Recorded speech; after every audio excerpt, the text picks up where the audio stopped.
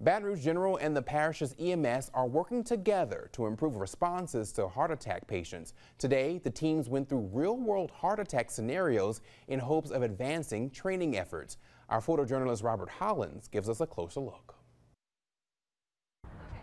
Most fundamental skills are done in fairly controlled environments. When you ride bulls, you're never really ready. It just gets to be your turn. Yeah. All the way out. All the way out.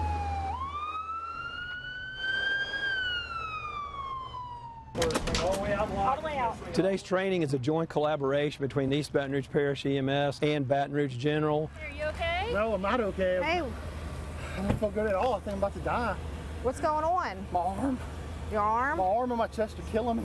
A heart attack is a very time sensitive event. Okay, when did this start? One of the points of today's training is to take what is a basic skill in medicine, simple psychomotor skills in medicine, Let's get you on the stretcher first, okay? normally done in a controlled environment,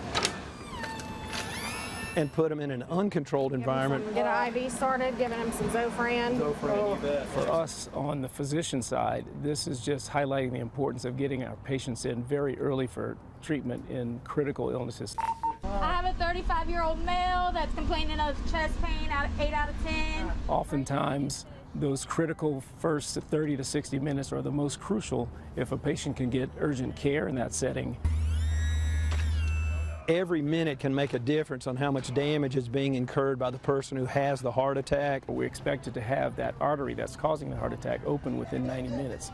We have our times down to 46 and a half minutes at this hospital because of protocols that are in place. And it's made a tremendous impact on survival for patients. Three minutes from our door to the cath lab. Because time is muscle. Every minute counts.